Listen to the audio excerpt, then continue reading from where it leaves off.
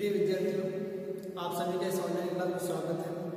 आज हम B Ed second year की सामान्य पाठ्य पुस्तक अधिगम हेतु तो आकलन के अंतर्गत नया चैप्टर पांचवा आकलन के लिए या अधिगम के लिए आकलन में सुधार है प्रश्न पोषण ये हमारी इस पांचवी अध्याय का नाम है। ये अध्याय हमारे इस पाठ्य पुस्तक का मैं मैं फोर्थ चैप्टर जो है हमारा, वो सांख्यिकी और ही अगर मैं ऑनलाइन आपको समझाता हूँ तो समझ में तो आ जाएगी मुझे उसमें बहुत सारे सवाल है, जो आपके रूबरू किए जाएँगे। तो इसलिए मैंने आज आपके ध्यान में रखते हुए मैंने पांचवी इकाई अधिगम के लिए आकलन सुधार और प्रश्न से संबंधित अध्याय को चुना है मैंने। इस अध्याय के अंतर्गत आज हम पढ़ेंगे कि अधिगम के लिए आकलन में सुधार किस प्रकार से होना चाहिए? इसलिए आज का हमारा जो टॉपिक है, वो है कि अधिगम के लिए इसके लिए? अधिगम। अधिगम के लिए, अधिगम के लिए आकलन में सुधार।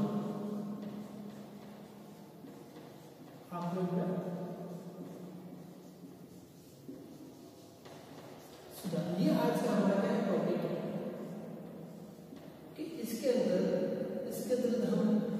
क्या पढ़ सकते हैं। ये हमारा आज का टॉपिक है कि अधिगम के लिए आकलन में सुधार हमने जब एक विद्यार्थी किसी भी विद्यालय में प्रवेश लेता है और वह अध्यापक जानता है कि इस विद्यार्थी के अंतर्गत किस प्रकार का अधिगम होना चाहिए, कैसा होना चाहिए तो उसके लिए आकलन करने से पूर्व उसका एक परीक्षा लेता है। हम भी जानते हैं कि जब विद्यार्थी का किसी भी एक विद्यालय से दूसरे विद्यालय में जब प्रवेश होता है किसी के माध्यम से तो वहाँ एक छोटा सा टेस्ट होता है विद्यार्थी का कि विद्यार्थी उस कक्षा के योग्य है या नहीं है। और विद्यार्थी उस कक्षा का उस उस प्रश्न पत्र का, उस लेवल तक का प्रश्न पत्र उसकी मानसिक क्षमता को अध्यापक देख लेता है कि ये ठीक है। तब जाके उस विद्यार्थी का, उस विद्यालय के अंतर्गत क्या होता है? प्रवेश होता है।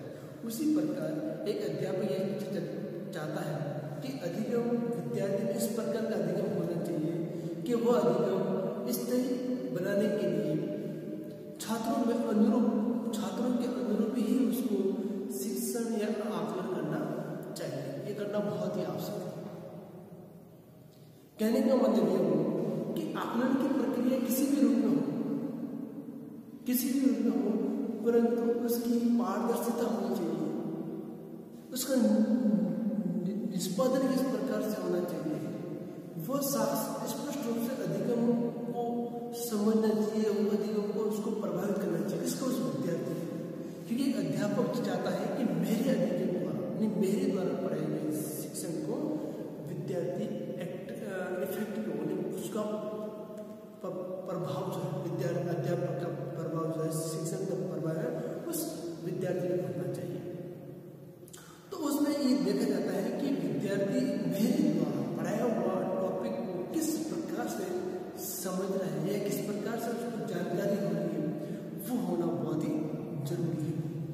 कहना है कि अधिगम के लिए आकलन में सुधार सुधार एक व्यापक व्यापकता आधारित अवधारणा है।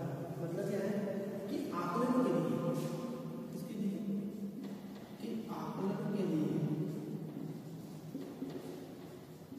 कि लिए छात्रों में आकलन के लिए सॉरी अधिगम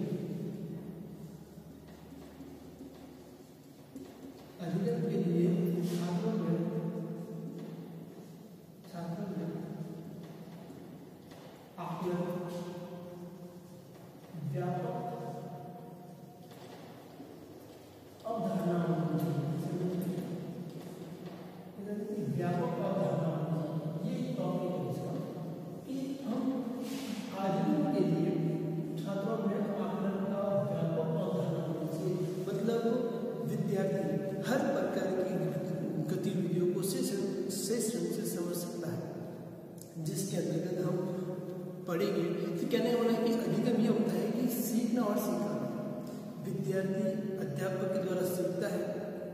सीखने के बाद विद्यार्थी स्वयं उस लेवल तक पहुंचकर वो दूसरे विद्यार्थियों को समझाने की कोशिश करता है कि हम किस प्रकार से एक विद्यार्थी के अंतर्गत किस प्रकार के अधिगम को प्रभावित करते हैं, जिससे वो हमारा हमारा प्रति, हमारे तरही हमारे तरही की तरफ़ पहुंचाता है। जैसे जैसे आकलन के लिए। सही रूप से अधिगम प्रभावित नहीं होता है। तो विद्यार्थी के अंदर भी किसी प्रकार का इफ़ेक्टिव प्रभाव दिखाई देता नहीं है। कहने का मतलब ये हुआ कि अध्यापक के द्वारा ही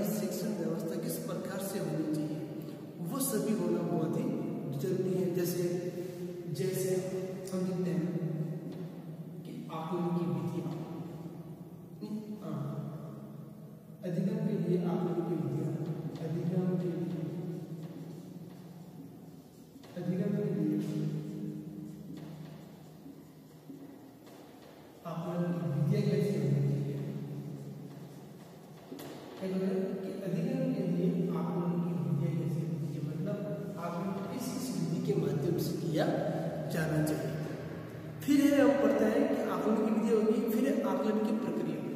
क्या है आकलन की आकलन की प्रक्रिया। आकलन की प्रक्रिया किस प्रकार की होनी चाहिए? क्रमबद्ध होनी चाहिए? या खंडित होनी चाहिए? कैसे होनी चाहिए? तो वो अध्यापक उस प्रकार की क्रियाओं को करते हैं। फिर आकलन को सम्मिलित करना।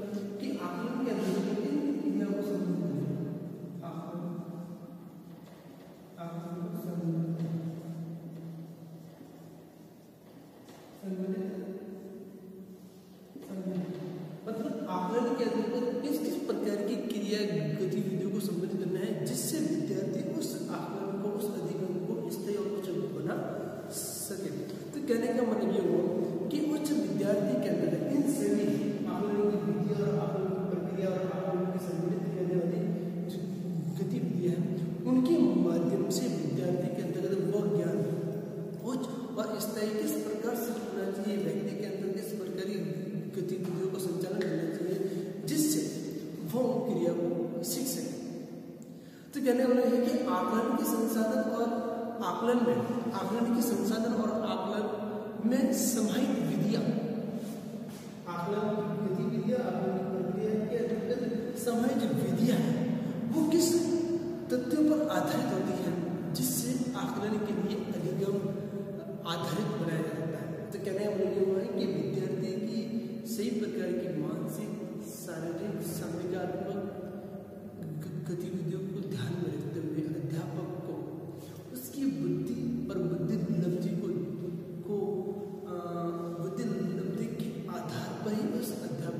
अपना शिक्षण कार्य व्यवस्था करना चाहिए, जिससे अध्यापक के द्वारा पढ़ाए गए कोई भी प्रकरण को विद्यार्थी सही प्रकार से उस गतिविधि को कुछ स्थायी बनाने के लिए तत्पर है, यानी इफ़ेक्टिव होना चाहिए। जब एक अध्यापक के द्वारा शिक्षण व्यवस्था अच्छा होता है तो विद्यार्थी के द्वारा पढ़ाया हुआ ज्ञान वह एक प्रकार के अनुशासन के तौर पर वह अपना आप ग्रहण करता है। तो प्रिय विद्यार्थियों, हमें जो है अधिगम के लिए आकलन में सुधार करता है कि एक अध्यापक देखता है कि उस उस अधिगम के अंतर्गत किस किस प्रकार के, किस किस प्रकार के विद्यार्थी हमारे पास है। तो उनका उनका, उन सभी का आकलन किस प्रकार से किया जाए, या उसमें किस प्रकार की गतिविधियों का संचालन किया जाए, जिससे विद्यार्थी अधिक से अधिक सीखे, अपने विकास, मानसिक का विकास कर सके।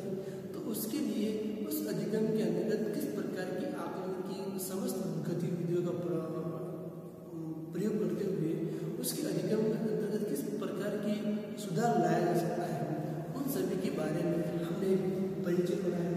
इसी को लेकर हम और भी इसी प्रकरण से लेकर संबंधित जो तथ्य है, अर्थ है, परिभाषा है, या इसको समीक्षा, इसको अधिगम प्रभावित करने वाले जो विश्लेषण